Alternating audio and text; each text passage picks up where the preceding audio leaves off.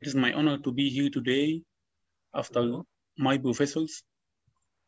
Thanks to Professor Dr. Muhammad Nasser Sheikh, thanks to Professor Dr. Hassam Sharif for their continuous support. I will speak today about traumatic facial palsy, either accidental or iatrogenic. First of all, I will start with a case scenario just for brainstorming. If you are in the emergency room and you faced with a patient like that, with right facial palsy after trauma, recent trauma in just today, and the patient came with you for you with this picture, with right side facial palsy. What is your next step? Is this patient indication for surgery or just for conservation? Is this patient just leave the patient to go home or what is your next step? And what about this patient? Is this patient similar to the previous one with left facial palsy? Is this patient is similar or different from the previous one? And what about this panic? Patient after surgery and immediately after surgery, when the patient get for out from the OR and you go to examine the patient and you find the patient with left side facial palsy. Is this panic for you or just to wait or just to do surgery again? What is your next step? I think all of us faced with a patient like that, even traumatic or iatrogenic, and what is your next step? To to speak about the management, there is some histological background. I just want to give a short brief about that and give some brief about electrodiagnostic test. As Professor Dr. Hisham said, the facial nerve consists of axons. Each axon covered, was Schwann, covered with Schwann cell, and the axon is covered by endoneurium. Axons together form a fascicle, and the fascicle is covered by perineurium, and the whole facial nerve fiber is covered by epineurium. In some cases, just the axon will be cut. In other cases, the axon and endoneurium will be cut. And other cases, the axon, endoneurium, and the perineurium, and sometimes complete transection. So, Sunderland do a classification for that. It is the most accepted classification. The first degree is just nerve block, just conduction block. All the nerve fiber is intact, but with just a conduction block. The second degree is axonal discontinuity, axonal degeneration with intact endoneurium, perineurium, and epineurium. The third degree is axon and endoneurium disruption. The fourth degree is fascicular disruption, axon, endoneurium, and perineurium. The fifth degree is complete transection of the nerve. Again, what is the value of that? What is the value to know it is conduction block or axon discontinuity or neurotemesis or axonotemesis? The value of that is the neuropraxia, the axon is intact, so the nerve can conduct electrical stimulation evoked externally, and there will be no degeneration. But in axonotemesis and neurotemesis, the axon is disrupted, so there will be no conduction of electrical stimulation from outside, and there will be Wallerian degeneration. And since there will be degeneration, there will be regeneration. During regeneration, there will be synkinesis, which is a different regeneration. Fibers going to the eye will go to the mouth, and the fibers go to the mouth will go to the eye. Again, what is the value for differentiation between neuropraxia, axonotemesis, and neurotemesis? It is for sure proved that patients with just neuropraxia carry a very good prognosis for spontaneous prognosis. And cases with axonotemesis carry a good, a good prognosis for spontaneous recovery. And the cases with neurotemesis or complete nerve transection carry very poor prognosis for spontaneous recovery. So, if I have a tool to differentiate between neuropraxia, axonotemesis, and neurotemesis, I will make the patient with neuropraxia go home and make the patient with axonotemesis go home. But patient with neurotemesis, it is our case for exploration. What is the tool for differentiation? It is the electrodiagnostic test. As, both, as Professor Dr. Hisham said, we have two types of electrodiagnostic test, EMG and ENOG. EMG is voluntary, volitional. The patient is asked to do voluntary facial stimulation, voluntary facial movement. So it will record the resting activity and record, and record voluntary or volitional activity, volitional potential. During normal, there will be rest, no activity, no resting activity. But during volitional, there will be biphasic or triphasic unit motor unit potential, like the figure below type C. It is triphasic potential. It is a normal. After trauma, after acute insult, immediately after acute insult, the patient will lose the volitional potential. But for fibrillation to occur and for sharp wave to occur, it will take some time, at least two weeks. So within the first two weeks after trauma, we will find absent volitional potential. After two weeks, there will be fibrillation and sharp wave. During recovery, the, again, there will be no resting potential and there will be polyphasic motor unit potential. So the figure below is type C, it is the normal triphasic potential. Type E is the polyphasic potential, which indicate recovery. Type B is the fibrillation potential. Type A is the fibrillation potential together with sharp wave. So type A indicate degeneration, type B indicate degeneration, type C indicate normal activity, type E indicate recovery. EMG has two main limitations. It cannot done in the first three days for degeneration to occur and cannot predict the degree of degeneration. It just tells you that there is a fibrillation indicate degeneration, but is it not 10% degeneration, 50% degeneration, 90% degeneration? You cannot know the degree of degeneration from EMG only. The second test is the ENOG or evoked EMG. Evoked, so it means that there will be external stimulation. We test the facial nerve by stimulating the facial nerve as the stylomastoid foramen. So it will record the evoked potential, not the voluntary potential. So ENOG records the evoked potential and it gives you a percentage of degeneration compared to the normal side.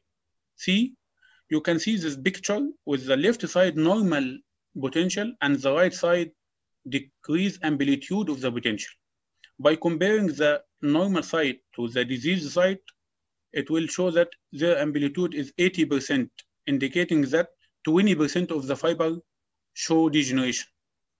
In the last picture, the amplitude is 7% from the normal side, indicating that the, it, uh, there is more than 90% degeneration. So again, ENOG is better than EMG by giving you the percentage of degeneration. But it has three limitations. The first one, it cannot be done after three day, before three days for degeneration to occur. And the other side must be normal because you compare the diseased one with the normal one. The main disadvantage of ENOG is the deblocking effect, which Professor Dr. Hisham said. ENOG measures, measures the synchronization of the facial nerve fiber. You can see here the facial nerve fiber, each one give action potential, and ENOG measures the synchronization of this fiber. Suppose the patient have degeneration, so all fiber will not active, so it will give a flat curve. In the other, on the other hand, if the patient has regeneration, some fibers regenerated at different stages. So the, the regenerated fiber at different stages will give action potential at different stages. When you combine all of this, it will give a flat curve. So a flat curve in E on OG may indicate degeneration or regeneration. So E in OG cannot differentiate between degeneration and regeneration. So we must do complementary EMG. Again, if you find a case with E in OG degeneration more than 90%, you have to do EMG to differentiate between is it degeneration or regeneration. And after 21 days, ENOG has no rule. degeneration already occurred, so ENOG has no value after 21 days and only you can do EMG. ENOG cannot predict recovery. If you have a case and you do a repair for that, and you want to follow up the case, follow up is only by EMG. ENOG cannot different cannot predict regeneration, so it cannot be used for recovery. In summary, ENOG measure stimulated potential, while EMG measure resting and voluntary potential. Within the first three days, ENOG and EMG of no value. After three days to the 21 days, you have to do both of them. After 21 days, only you can do EMG. The ENOG can measure the percentage of degeneration, while EMG gives you fibrillation, no motor unit potential. The ENOG has the advantage of being give you precise indicator of the degree of degeneration, while EMG cannot give you the precise degree of degeneration. ENOG cannot be used for recovery, and EMG can be used for recovery. That was an introduction. Now we will speak if we faced with a case like that. If we faced with a patient with traumatic facial palsy, what is your next step? You have to answer three questions. I said that for our resident, if you have a case with traumatic facial palsy, you have to give me three main idea.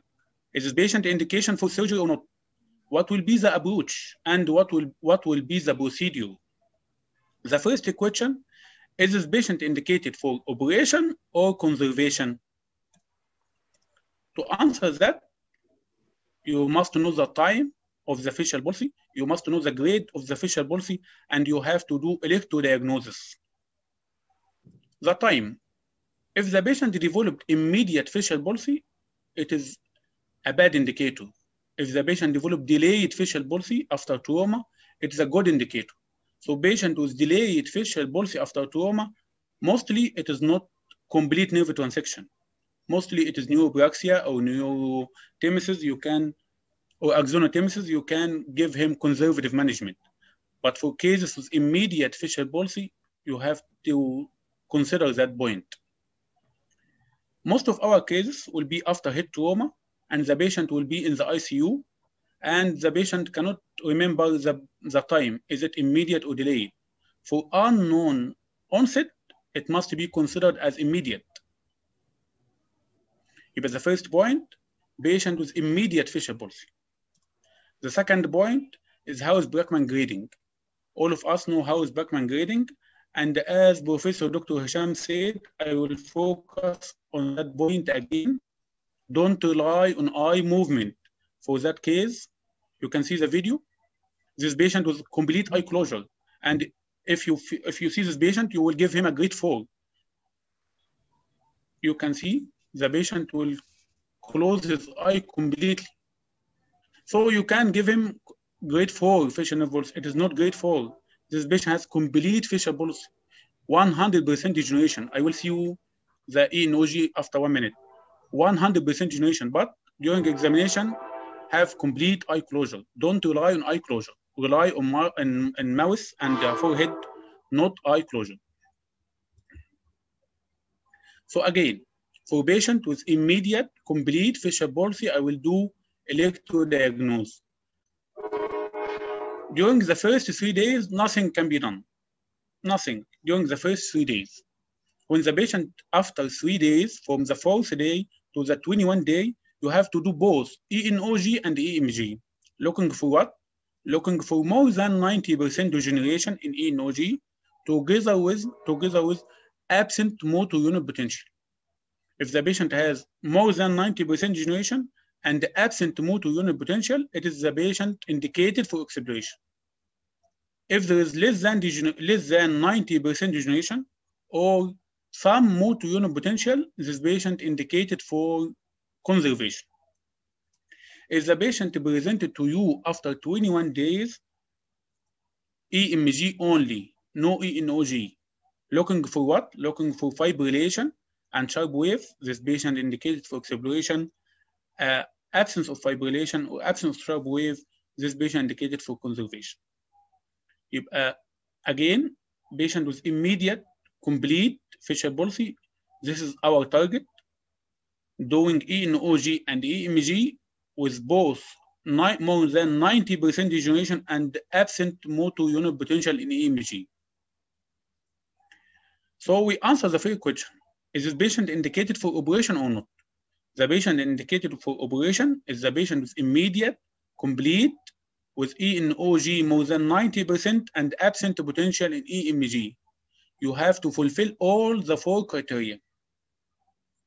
So the next question, what will be the approach? To decide the approach, you have to answer two questions. What is the site of injury and what is the level of hearing? To know the site of injury, you have to do CT fine cuts, one millimeter fine cuts, coronal and axial. And to know the hearing, you have to do either pure tone or EBR according to the patient age. If the patient has non-serviceable hearing, so you can do translab, you can do even labyrinthectomy, and you can approach all the facial nerve from the labyrinthine segment to the style to the mastoid segment, because the patient has non-serviceable hearing. But the problem, if the patient has some serviceable hearing, you have to identify the site of lesion. If the lesion is the mastoid segment or tympanic segment, you can do transmastoid and external auditory canal approach. If the lesion in the labyrinthine segment and geniculate ganglion, you have to do middle cranial fossa approach with or without transmastoid approach. Some example, this patient with fracture line. This fracture line passing through the tympanic segment of the facial nerve, but also this fracture line passing through the inner ear. So we expect that the case has dead ear and the cut will be in the tympanic segment of the facial nerve. Other case with transverse fracture, with longitudinal fracture, passing through the mastoid and then passing through the tympanic segment of the facial nerve. This case with fracture passing towards the geniculate ganglion, expected to require middle cranial fossa approach. The last question to answer, we answered two questions. The first question to operate or not. To operate, we have to have immediate complete facial palsy with ENOG more than 90% and absent EMG potential. The approach depends on the CT and the hearing, and finally the procedure. If the facial nerve intraoperatively found to be intact, you have to decompress with or without incision of the nerve sheath. There is a controversy to incise the sheath or not. If the facial nerve is cut and two ends can be approximated, you can do neurorrhaphy if the, there is a gap between the two ends of the facial nerve, you have to do you have to use nerve graft. For small gap, you can use the great auricular nerve. For large gap, you can use the sural nerve graft. So this was about traumatic or accidental facial nerve trauma. What about iatrogenic facial nerve trauma? Iatrogenic facial nerve trauma follows the same rules. You have to answer the three questions to operate or not, and what will be the approach and what will be the procedure.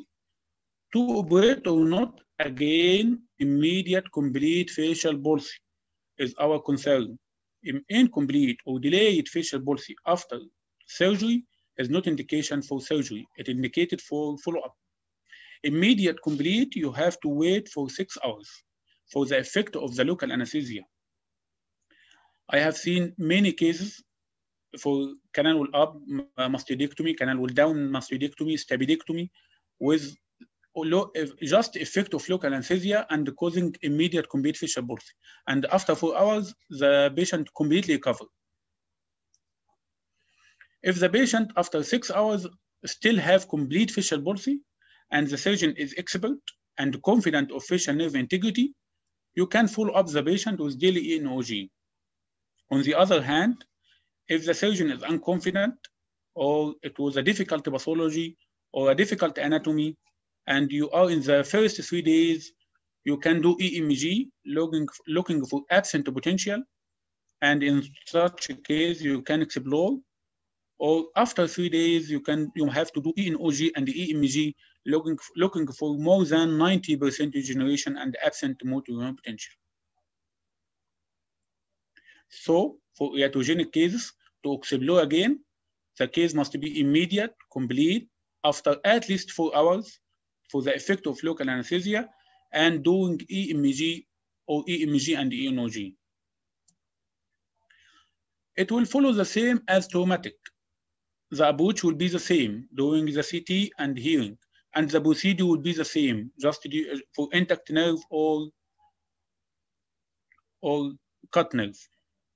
Some case scenario in Tanta University Hospital, this is patient with right side facial palsy after applying our rule for sure this patient has some movement in the right face. You will see some, move, some movement in the eyebrow. You can see some movement in the forehead. And of course, some movement in the nasolabial fold. So the patient with partial facial nerve palsy. It is not an indication for surgery or doing anything. Just follow up. To be confident about that, this patient did ENOG and it will find to have just 20% generation. And you can see the fracture line in that in, in such case, this fracture line.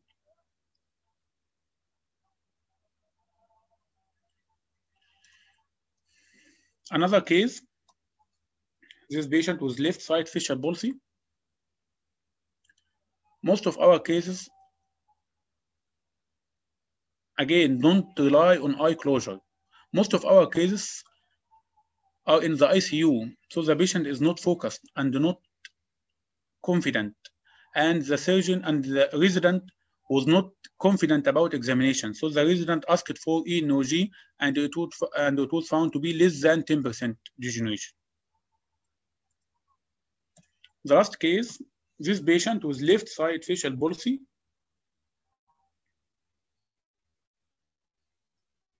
again, as Dr. Professor Hisham Hamad said, you have to do, you have to prevent transmission between both sides and don't rely on eye closure. This patient is eye closure, but grade six facial palsy. The first question is to operate or not. This patient was immediate and complete, and the showing complete degeneration. There no unit potential and complete degeneration. What is the approach for decision for the approach? We did a CT. In the coronal CT, you can see this is the facial nerve. And you can see the fracture line here affecting the mastoid segment of the facial. This is a fracture line affecting the mastoid segment of the facial and extend to the stylomastoid foramen. This is the fracture line in coronal cuts. And in the axial cuts, this is the fracture line. You can see the fracture line mostly affecting the mastoid segment. And the fracture line extended to the jugular foramen. So we expect here in such a case to find that the jugular vein may be injured in such case. But fortunately, the fracture line does not extend to the carotid canal. If the fracture line extends to the carotid canal, you have to do, to do CT angio, even angiography, because sometimes the fracture line extends to the carotid canal and intraoperatively the carotid will blow out.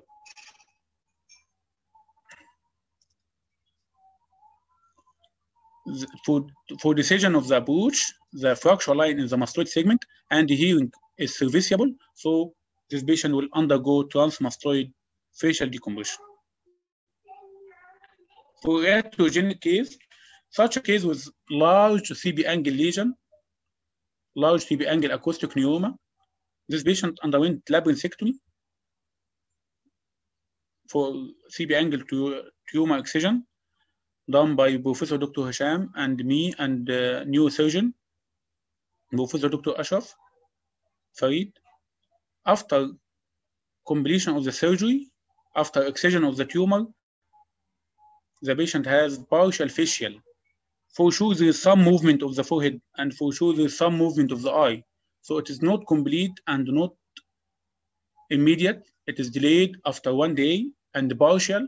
So the decision was conservation And this is the same case after two weeks during removal of the eye bandage, ear bandage, for sure there's some eye movement. Uh, and after three months, this patient returned completely to normal.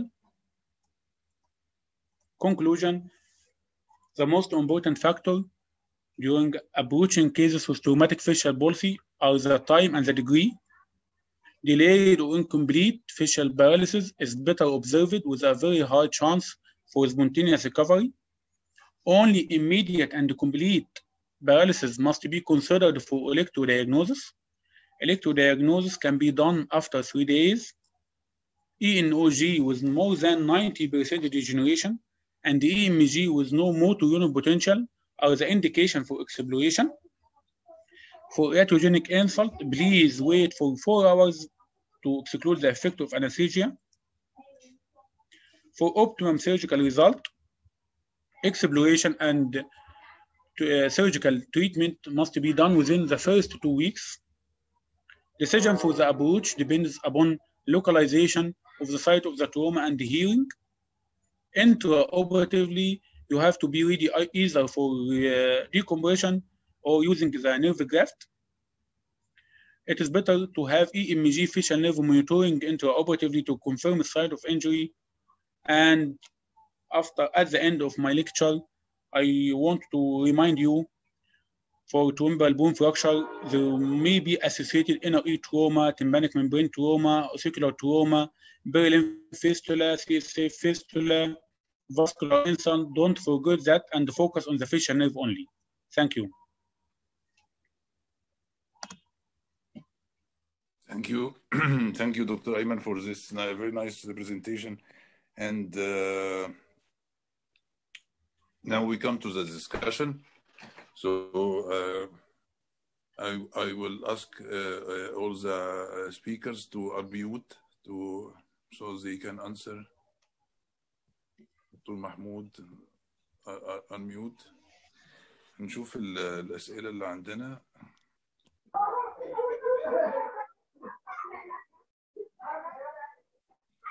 we have a question. We have a question here. Uh, what are the landmark for lowering the facial ridge during canal wall down mastoidectomy to avoid injury of the mastoid uh, vertical segment of the facial nerve? Any tips or tricks of where to stop lowering? The, the question, uh, the landmark for lowering the facial ridge. Uh, I have a comment on such. Uh, uh, do you mean intraoperative landmark, or do you mean a preoperative prediction of the landmark? Because I have some point, as I said, if you read the CT preoperatively, and you can predict the type of the facial nerve. For example, if the mastoid part of the facial nerve is emerging at the same coronal level, for example, of the posterior limb of the superior or the lateral semicircular canal, and if you find that it is lateral or medial to the most uh, lateral point of the dome, so in such case, my landmark will be the dome of the lateral semicircular canal because I'm sure that along the way down to the stylomastoid foramen, there is no fissure. The fissure is medial to this plane. So I can lower the facial ridge down to the dome of the lateral canal, even at the lower part. Okay. And this is the importance of the radiology in predicting. Of course, the classical surgical is at the upper part or the superior part. You have to lower the ridge down to the dome of the lateral semicircular canal. Then, as you go downward or inferiorly, you have to leave more bone because the facial has a lateral uh, position or have a lateral uh, uh, journey from the dome of the lateral semicircular canal to the stylomastoid foramen. But as I have just said, this is the classical surgical landmark.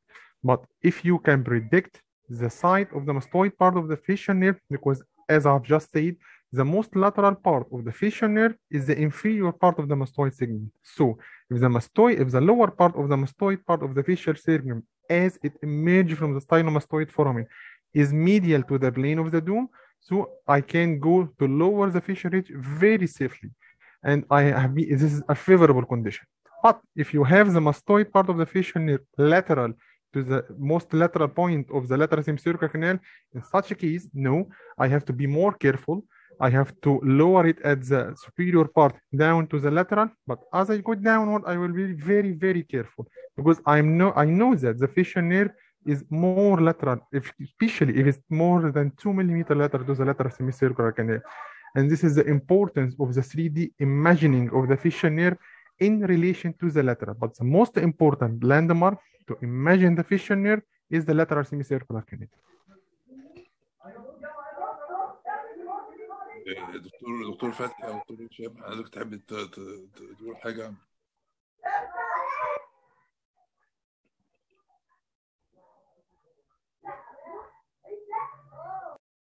You you hear me, Husam? Or?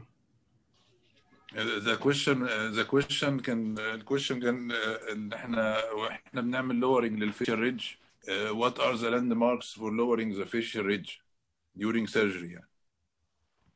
During uh, canal wall down, I think uh, the question was there. It is the lateral semicircle is uh, lateral canal dome is very crucial, and the canal wall down you can combine it with the knowing the position of the facial nerve from the uh, tympanic part, the, the horizontal part. You know. Uh, third, uh, there are some uh, tricks you can help you. Uh, at first, think of the patient as a friend, not as an enemy. Uh, If you think it's an enemy, you will uh, try to avoid it and we lose the anatomy. But as a friend, you can expect a side and avoid it. Us say dome, it is always medial, as as, Professor, as Dr. Haitham uh, explained in his uh, presentation for anatomy. It is medial and anterior to the lateral, to the lateral semicircular canal. Uh, a continuation of the course from the tympanic part to the mastoid segment is definite. When you approach the facial nerve, usually the air, the, the air cells disappears and starts to be uh, white, the, the bone when drilling. So even you can, the sound of the uh, bear differs in that time. So you can expect it by the sound of the bear, you know. Uh, uh, of course, the two, the second site which can injure the foot is the uh, is the the digastric ridge. Usually, remember that a facial nerve is uh, turns lateral as a lower part of the mastoid. It becomes lateral It is it is common site to injure the facial nerve in this site for experienced. Usually, experienced surgeon, surgeon injures the facial nerve uh, at the stylomastoid foramen, but uh, beginners injure the facial nerve at uh, the second genu.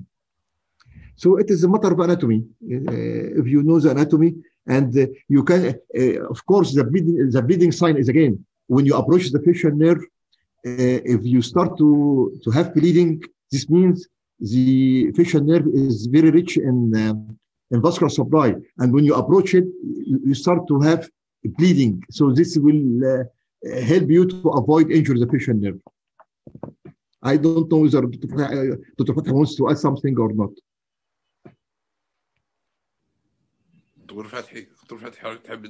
Same as Professor Hisham said, in the lower part of the mastoid, the, the nerve is too much lateral. So uh, the digastric ridge is bleeding, as Professor Hisham s- stated. Uh, of course, in the tympanic part and the upper part of the mastoid, the dome of the lateral semicircular canal is a good landmark, uh, and the pyramid is a good landmark uh, for lowering the uh, facial but be careful. Uh, we have another question from uh, here. Uh, could you do stabid- stapedotomy safely in type 4? Hussein, Hussein, may I add something important? Uh, oh, tfad. Usually, injuries of the facial nerve may mean due to trauma. It's, uh, mechanical trauma, what I mean. it's, thermal trauma is very important. So, when, when you approach the facial nerve, you, ha you have to have copious uh, irrigation.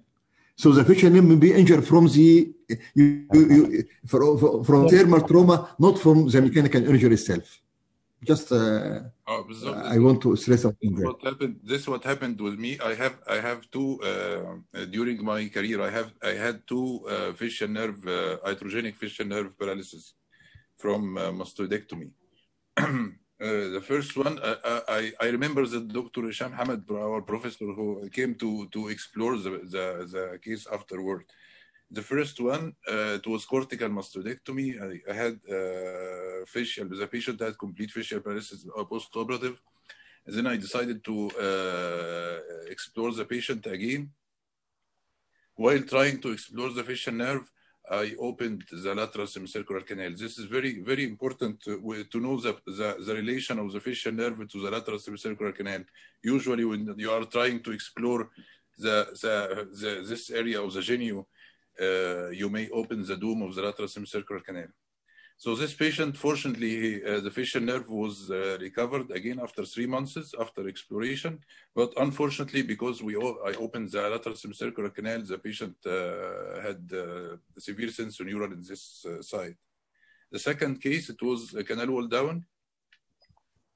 And uh, uh, I remember that the facial nerve was completely intact because I remember seeing the tympanic part and the vertical part and genu. It was canal wall down, so we lowered everything and the facial nerve was exposed. But it was thermal trauma, as uh, Professor uh, Dr. Isham said, uh, for the part just above the, the foot plate of stapes. It was the dehiscent part.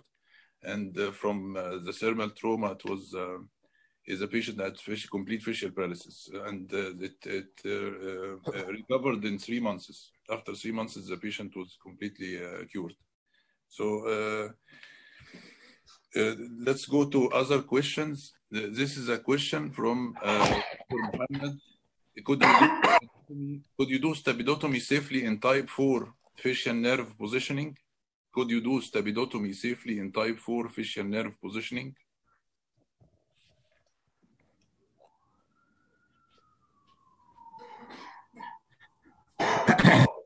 may, may, I, may I answer Dr. Hussam? This is very very rare. First point. Second point, uh, uh, you know, if the foot plate is accessible to you, you go ahead and do stapedotomy, no problem. Uh, sometimes if it is dehiscent and you can dis dislocate or shift it without uh, too much trauma, you can go uh, and do stapedotomy. The problem when the facial nerve is occluding the uh, oval window. This is a real problem. Mahmoud. Uh, uh, I agree with Dr. Hisham that it's a rare condition, but uh, you, in my opinion, it depends on the integrity of the fallopian canal.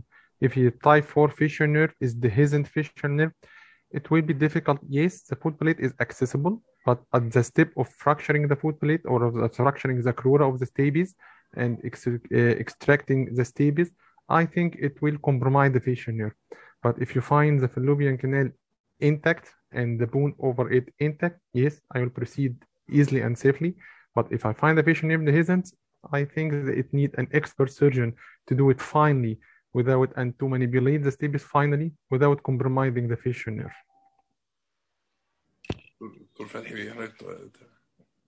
The same as they said. It's very rare. I have never seen. دكتور أيمن دكتور هيثم I, I the same. I, if, if if anyone sees this patient, hmm. tell me. Abort I think it never seen. it never seen. Okay, another question uh, for Dr. Haytham from where you get the pictures in your presentation. I think he answered. I that. answered that. Uh, really, uh, uh, very nice pictures. Very nice. Thank you. and this is very important. Very important to do cadaveric dissection and uh, to to drill the temporal bone completely.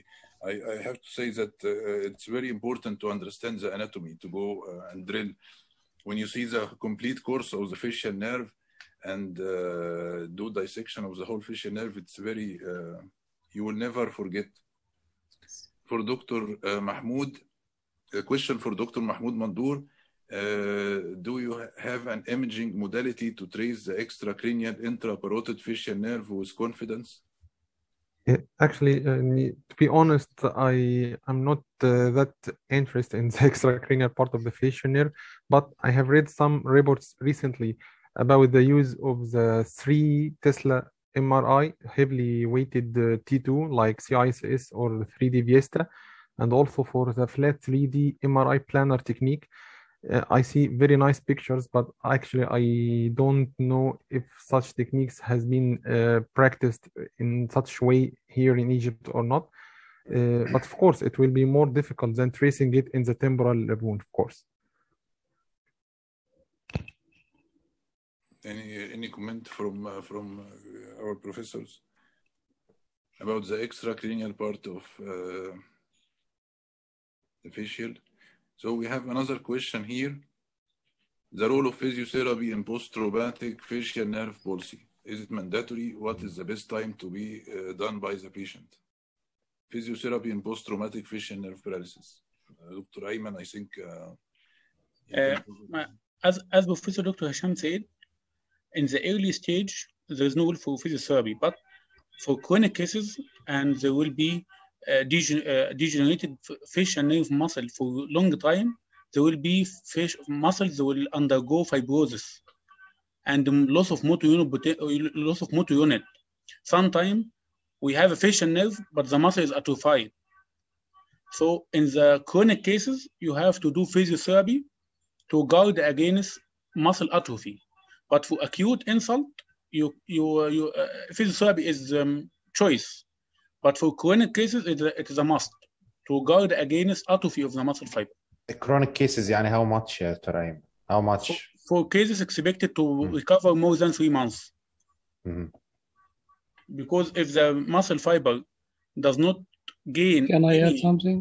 motor unit activity for more than one year, it will undergo fibrosis and Mhm. atrophy.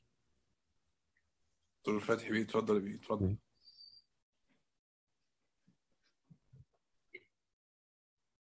I think the patient will will have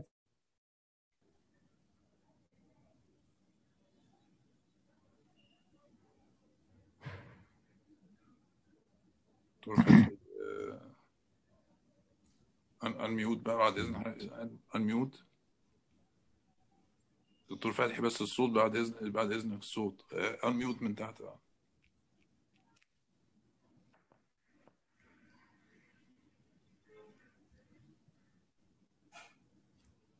آه تمام دكتور فتحي. Physiotherapy is usually asked by the by others that uh, who are treating your your patient. Uh, if the surgeon or if medical or so will will do physiotherapy, even if you stress to the patient of the significance of physiotherapy, I think most of them will not obey you, and most of them will go and have physiotherapy. Uh, I, I respect uh, Dr. Ayman comments, but usually if you ask him to stop physiotherapy, uh, uh, you are fighting against the stream because the neurosurgeon asks for physiotherapy, the physiotherapist asks for physiotherapy, internal medicine asks for physiotherapy. So why why why you are the only one uh, stressing that it is no. if the patient did not improve, I think he will blame you. So do your part and uh, see what's what's patient is obeying you or not. Dr. Hussam, can I add something? لا اتفضل بيه اتفضل اتفضل دكتور هشام I, I think we have to uh, yeah, divide it into three stages. During the acute stage, which is about uh, one week to three weeks, uh, it is harmful. It encourage uh, uh, cross reinnervation and uh, synkinesis. And the- after the acute stage, it is useless. but uh, in prolonged cases, as uh, Dr. Ayman said, it is useful to keep the muscle viable Can I ask you a till we plan uh, till we plan for uh, for uh, uh, rehabilitative surgery. You know, so uh, we cannot. Neurosurgeon usually advise a patient to go for uh, other doctors advise a patient to go for physiotherapy. It is okay after the acute stage, although it is not beneficial and it is a must in the chronic stage. But the acute stage, we have to insist there is no value, but it is harmful to ask the patient to go for, for the physiotherapy during the acute stage. This is a message which has been conduct to other doctors and other physicians. And even, uh, I, I'm sure, even uh, our friends in, physio- uh, uh, uh, in physical medicine, uh, they, also ask the patient to go for physiotherapy. This is not evident for them, not clear for them.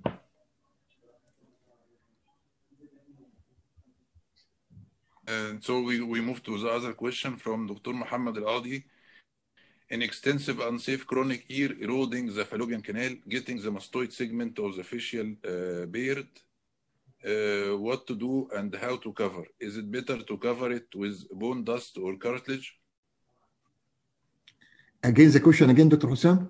بيقول an extensive unsafe chronic ear eroding the fallopian canal getting the mastoid segment of the facial beard ال- الفيشيال يعني dehiscence والفيشيال exposed Uh, what to do and how to cover it. Is it better to cover it with bone dust or cartilage?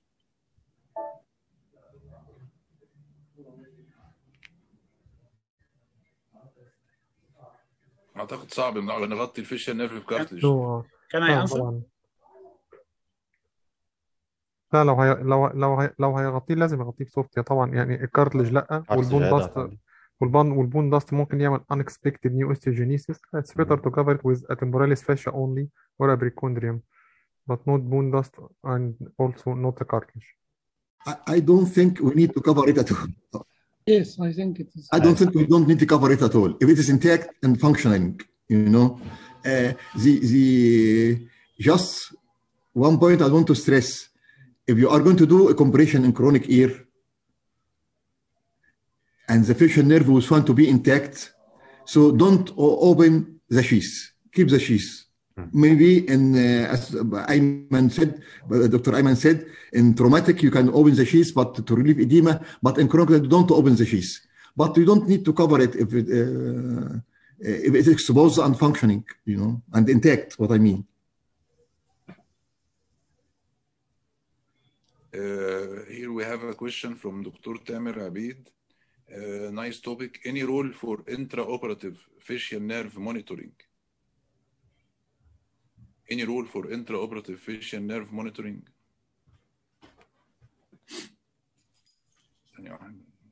If you have it, if you have it, use it.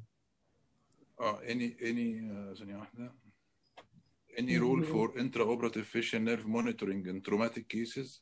I would like to hear from Tanta School experience. Thank you. And do you use the nerve monitoring? Yeah, can I answer? Ah, uh, during uh, the first two weeks, the facial nerve is still, during the first few days, the facial nerve is still intact, even in complete cut. So if the facial nerve is intact, even within complete cut, the distal segment is still stimulated. And, and intraoperative facial nerve monitoring will be beneficial. In some cases, you cannot find the distal segment and you can localize the distal segment of the facial nerve using facial nerve stimulation intraoperatively. So in the first days or first five days, some facial uh, nerve is still intact to be stimulated, even in complete transection. After that, there is no value because the facial nerve underwent degeneration and it, it will not stimulated by the facial nerve monitor. So it is beneficial only in the first three to four days. If you explore the patient in the first three to four days, use facial nerve monitoring. If after that, it is of no value.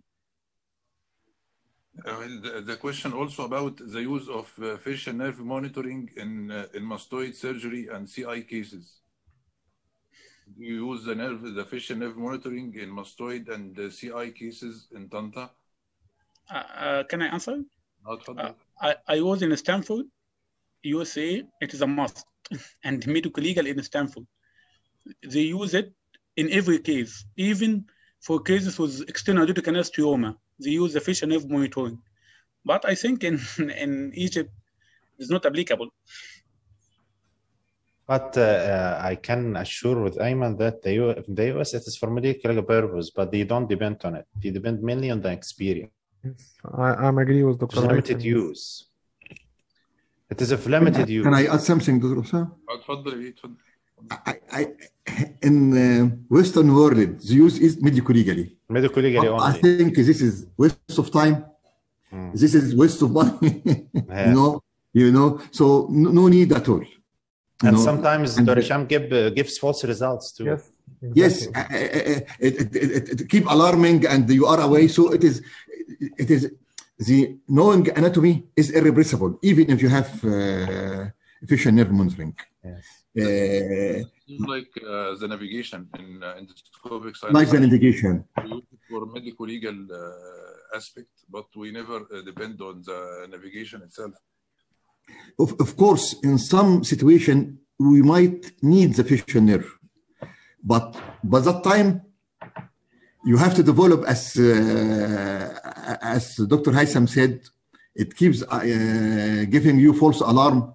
Yes. If you are not acquainted to the using the facial nerve, you when you need it, it, it, it will be you yeah. are in a trouble خلاص so you, are, in a trouble. you needed you're in a trouble so I, I, I advise if you have efficient nerve monitoring to use it routinely in mastoid surgery for some time till someone gets the experience with it and after that it's not important you know and and don't rely on it rely on the knowing the anatomy more on the efficient nerve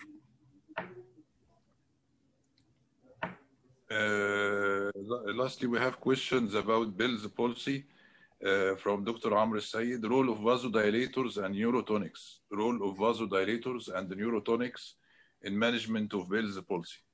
No, there is no evidence for uh, their uh, effect uh, at all. They are useless.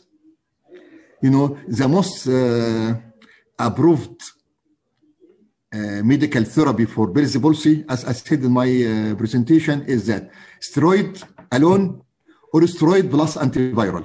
Even antiviral alone is not beneficial as a monotherapy. بالظبط دي تعتبر الإجابة بتاعت دكتورة زهرة دكتورة زهرة بتقول what is the best management for idiopathic facial nerve palsy حضرتك جاوبته بالفعل اللي هو الستيرويدز مع ال مع الانتي فايرال آه كده إحنا this is the end of our questions uh, any anybody anyone of the speakers would like to add something for the this nice topic Thank So- you. so I would like to We thank you. We thank you in particular for this nice, uh, present, nice um, organization, and uh, we all grateful for you for for for, uh, for, for that.